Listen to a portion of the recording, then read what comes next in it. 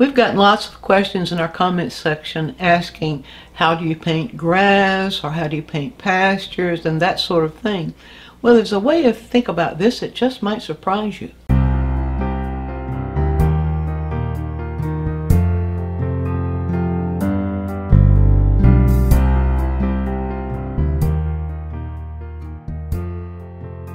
When I get questions like that, I realize that you're thinking about the image itself. But if you ask yourself how to paint grass or how to paint waves in the ocean or how to paint a bark on a tree, you're asking yourself the wrong question because that's a three-dimensional world.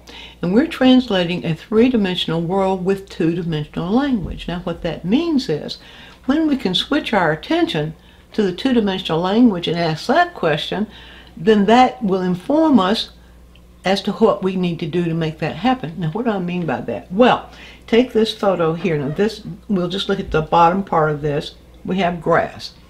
We have grass and that moves into the distance.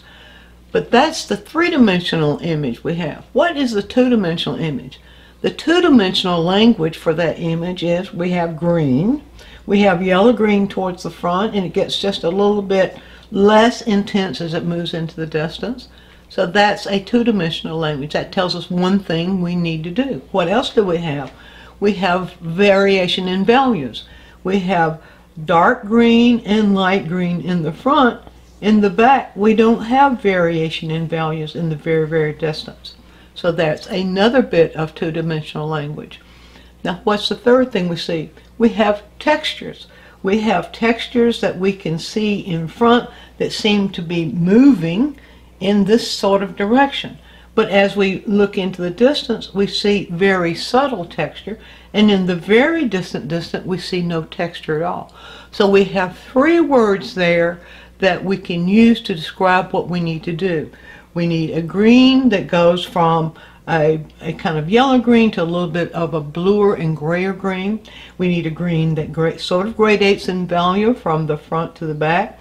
We need a value that has contrast in front but no contrast as it goes back. And we need a movement of the brush that pushes that value in the direction that we see these going. Now we can do that very easily. I've just got a simple little layout on my palette here um, of a kind of a yellow green that uh, most that goes from the darkest dark to kind of a just a little bit past the middle value towards light and I have blue here that does a similar thing. So what we'll do first of all then is we'll start with this sort of middle value green and I'll just use this little area right here and we'll start with this sort of middle value green and we will lay the middle value green, sort of the middle value green. We'll just lay this in. I'm just going to do this in a small area here. I'm not going to try to do the whole uh, the whole area, the whole thing, because I just want to show you how to think about this. Um, and so we can do that. Now why are we doing that? Because we're laying in the darkest darks that we see. So if we're laying in the darkest darks we're seeing, then that will account for this frontal area where we see these this variation of the dark and the light. As it moves into the distance, we see it getting a little bit lighter. So we can get this a little bit lighter. See, that's the two-dimensional language I'm talking to you. It gets a little bit lighter as it moves into distance there. And not only gets a little bit lighter, but a little cooler. If it's getting a little cooler, that tells us it's got a little blue in it as it moves right back in here. Let's put just a little bit more light in that blue. And, and blue-green is the green that has a little bit of blue in it. And um, you see that's what happens as it moves into the distance. Now you can always see, and we do have a little shadow back there, but I'm not going to address that in this quick tip. We're just talking about how to create the grasses. All right, so we've got that. Now, what else do we need? We need to come back and look at that front where we have the value contrast. So we've already laid our, our darks in, and how. Uh, the next question is, how light are those lighter greens? And so we can do that and when we're pushing those lighter greens in, rather than just paint them in, let's look at the direction in which they seem to be moving. And when we see those lighter greens, we see them moving upward like that. So we can take our brush and we can just kind of move it up like that, touching the brush and moving it in the direction that we see those greens moving. Those light, the lighter portions of those greens.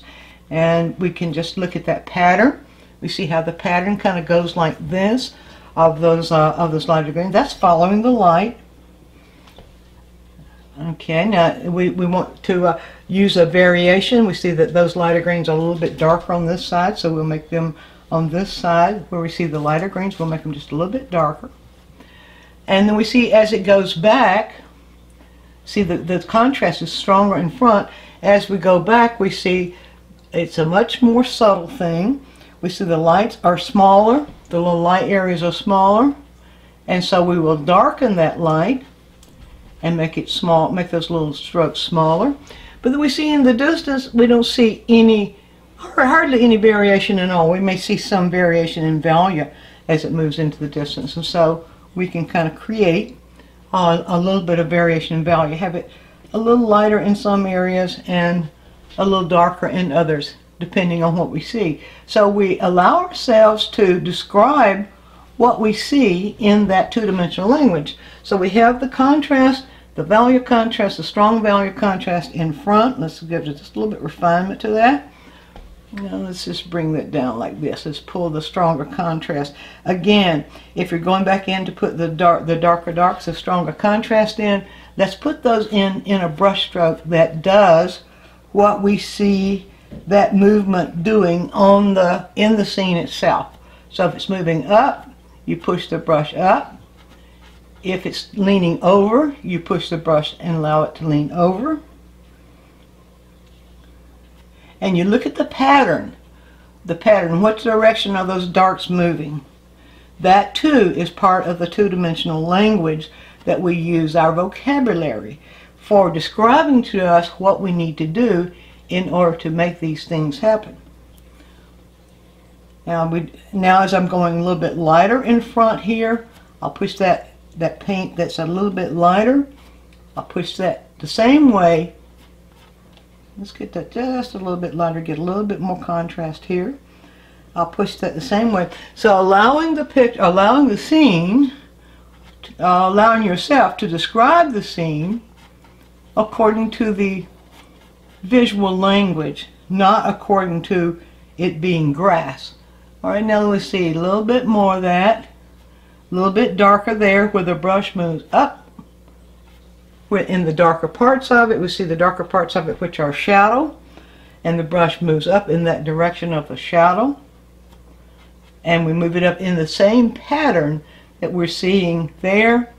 Now we see the contrast in the front we see the, the gradation or the narrowing of the contrast of those little clumps as they get further back and we see that totally disappearing as it goes into distance.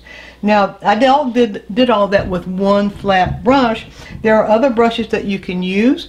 Um, if you were to see taller grasses in the front, you might use the end of the fan brush. We have a quick tip on using the fan brush where you simply use that fan brush in that same motion where you allow it uh, have the darker paint on the on the tip of the brush and you're not pushing very hard just use the tip of the brush to push upward in the direction that you see it moving here. Direction is a visual two-dimensional visual description of what we do with the element of dark. So dark light texture direction those kinds of things. Those are the kinds of things that you, kinds of words you use to describe to yourself what to do. So, if you want to know more about this, we have two lessons in our video lessons uh, on DianneMize.com, or two series really, eight lessons. Two series. One, translating textures. Um, it's where I teach you how to look at all different kinds of textures and translate those into paint. And then another that I call Creating Distance, that's Series 39. Uh, the Translating Textures is Series 21. And this too involves uh, involves how things decrease and what you do to make things change as they move in the distance. And so uh, check you might want to check this out if you're really interested in pursuing this. And we have other videos there too. And then if you have something that you'd like for me to address, drop, drop us a comment right down here and we'll put it on the schedule. And there's your quick tip.